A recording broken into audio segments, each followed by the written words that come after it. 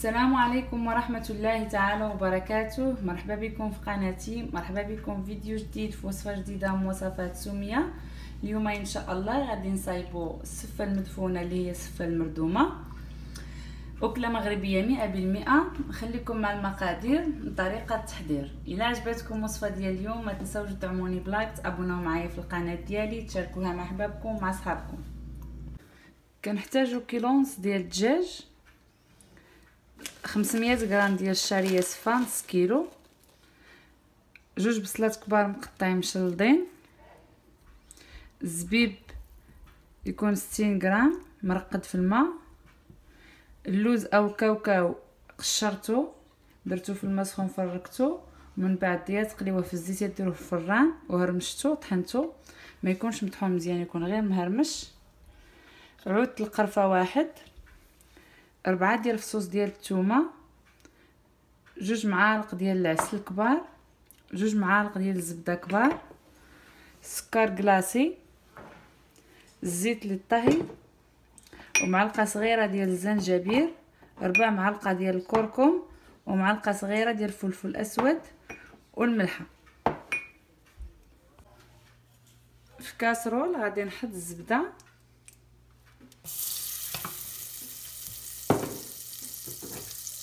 نحط معها شوية الزيت شي معلقة كبيرة.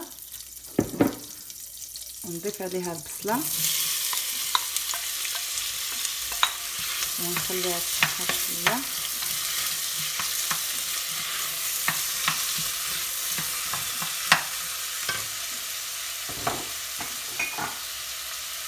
نضيف عليها الثومه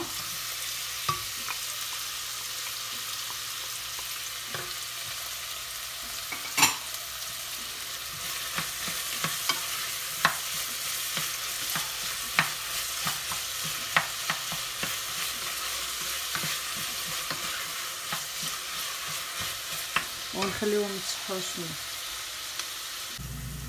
تقلات البصله والثومه شوية غادي نضيف الدجاج.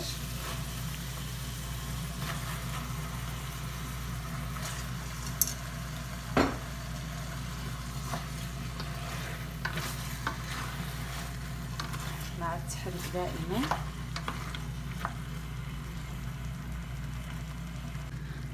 نضيف عليها التوابل. ندير معلقة كبيره معلقة صغيرة عفوا ديال الزنجبيل. ومعلقة صغيرة ديال الفلفل الأسود. وربع معلقة ديال الكركم. والملحة على حسب الذوق.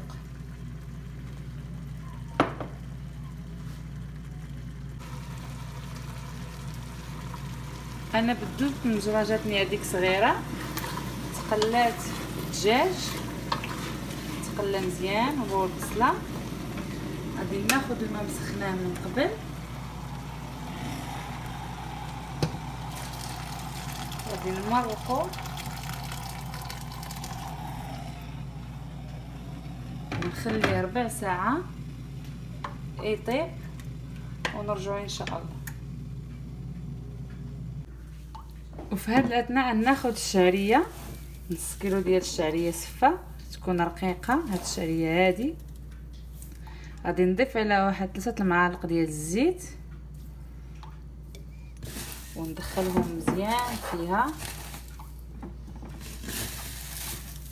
بهاد الطريقة. حتى يدخل داك الزيت. وسط الشعريات كلهم اللي عندنا.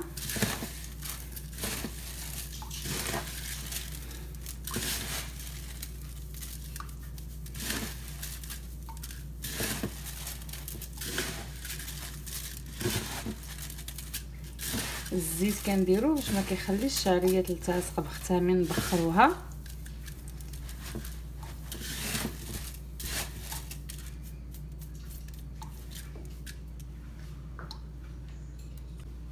غناخد كسكاس اللي غنبخر فيه ونحطها فيه.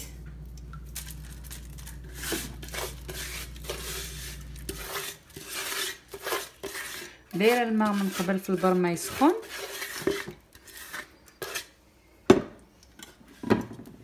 غادي نديه نحطو يتبخر. غادي نحطو يتبخر. مدة ربع ساعة يطلع فيه داك البخور. ونحيدو. من بعد ما دازت 15 دقيقة هو تبخر غادي نحيدو.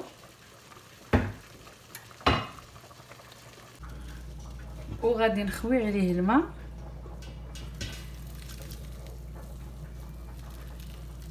الماء يكون سخون داك الماء اللي كان كيتبخر به غنخويوه عليه نفسه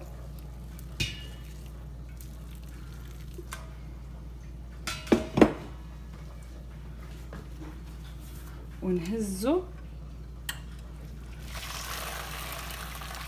نرجعو للبرمه ونرجع عليه داك الماء.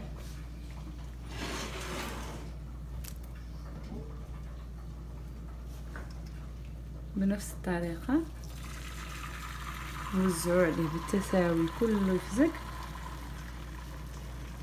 ونرجعها تبخر فوق البوطة.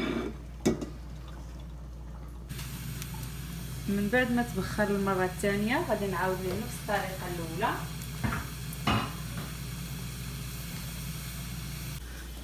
غادي نعاود نفس الطريقة نخوي عليه الماء.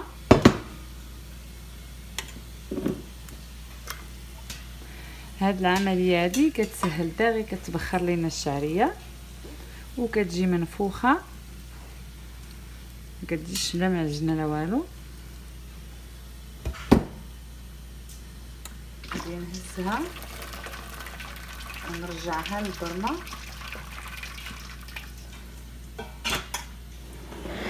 نرجع نخوي عليها الماء ديالها. ونرجعها تبخر مره أخرى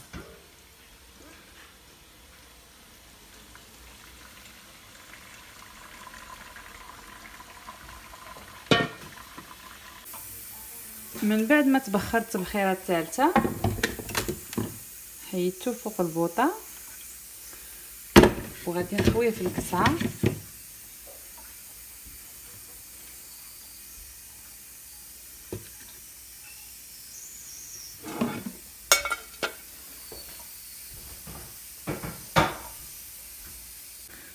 ناخذ مغرفة. ونفرد بها حيت باقي سخون.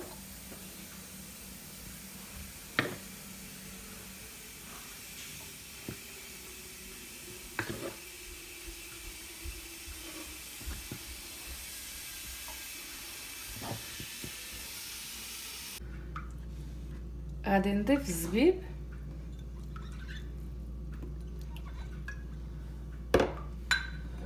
ونخلطهم ندمج داك الزبيب مع الشعرية مزيان. واخا باقا سخونة. قديتو عليها تخدموها خدموها ما قديتوش عليها خليوها حتى تبرد.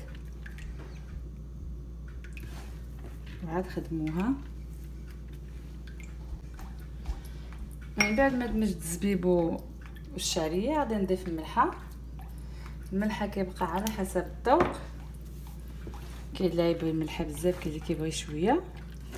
خلط الكل جيدا. ونرجعها تبخر المرة الثالثة.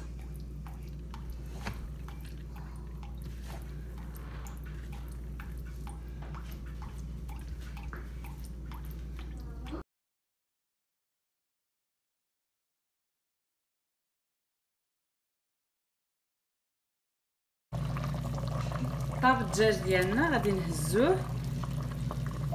نسقطروه من المرقة.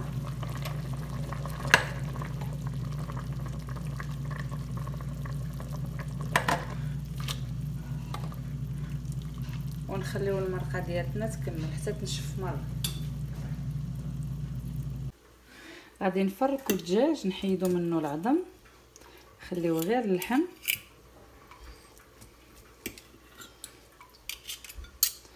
نفركوه كله حتى ما يبقاش فيه كاع العظم في مرة.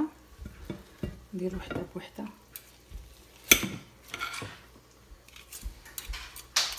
أنا غنفركو كله ونرجعو إن شاء الله. نحيدوه كله ما يبقاش فيه نهائيا لا جلدة لا عظم. نقيت الدجاج كيجي بهذا الشكل هذا. ما فيهش ما فيهش حتى شي عظم. أو جلدة وكنفرتو بهذه الطريقة. غنخليوها على جنب. تبخرات الشعرية لثالث مرة آخر تبخيرة. غادي ندير فيها معلقة ديال الزبدة. ندير فيها معلقة ديال الزبدة.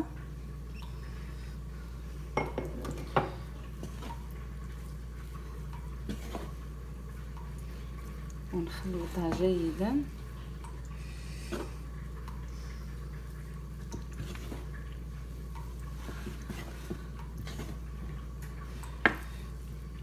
ونغطيها ونخليها على جنب تبرد.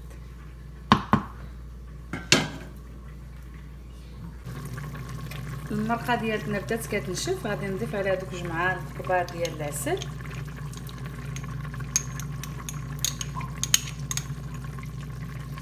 وعامرين كبار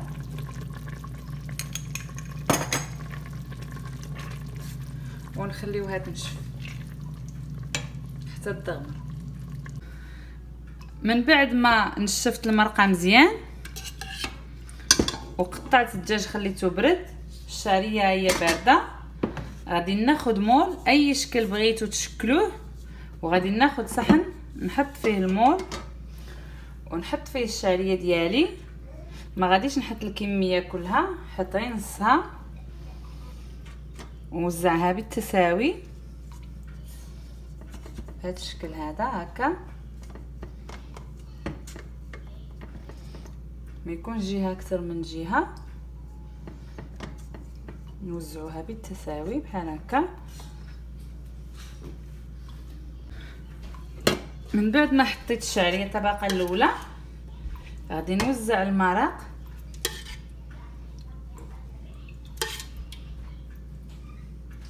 نوزعو على الشعرية كلها.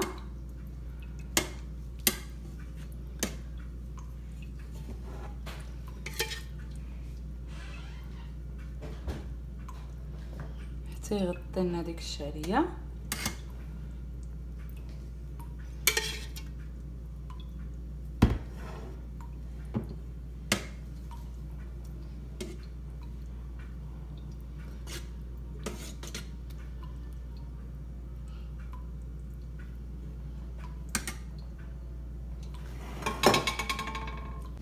وغادي نحط الدجاج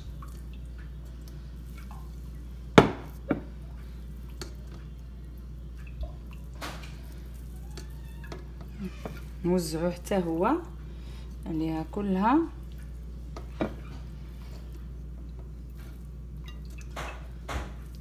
الطريقة هكا.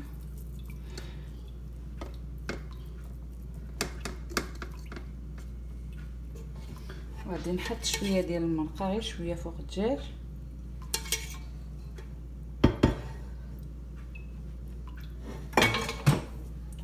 ونحط اللوز.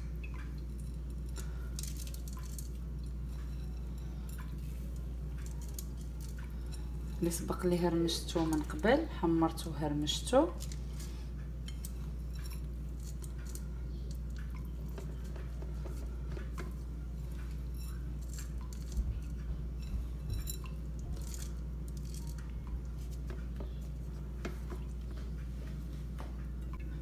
وغادي نحط الطبقة الأخيرة ديال الشعرية. وهذا هو السر ديالها علاش كيسميوها السفه المدفونه أو السفه المردومه حيت طبق المفاجآت داكشي كيكون لداخل ما كيبانش.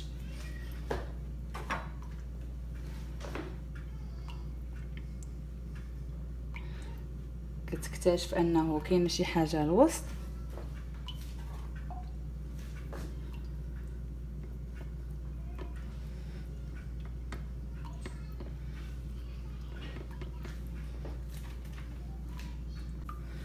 من بعد ما ساليت غادي نحلها غير بشوية. وغادي نزينها. غنزينها بالطريقة اللي بغيتو نتوما. غادي ناخذ سكر كلاصي ونديرو على شكل خطوط. هكا.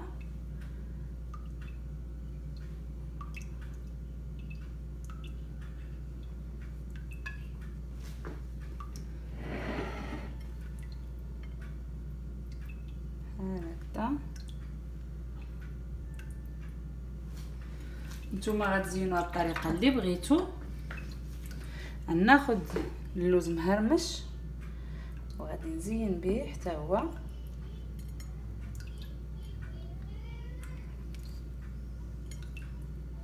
والتزيين كيبقى على حسب الاختيار اللي بغيتو تزينوا به زينوا به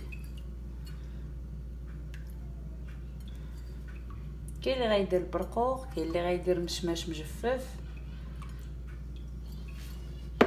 وكاين اللي غيدير فحالي غيدير غير سكر كلاصي والقرفة اللوز ناخذ خطوط ديال القرفة.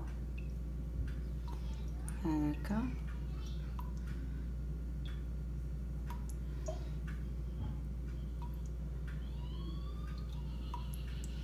وطبقنا اليوم ها هو واجد. من بعد ما زينت الصفة ديالتي ها الشكل النهائي كتجي لذيذة ورائعة وصراحة لذيذة لذيذة بزاف. نتمنى وصفه اليوم تعجبكم ونتمنىكم تجربوها وبصحة والراحة. نشوفكم إن شاء الله في وصفة ثانية السلام عليكم.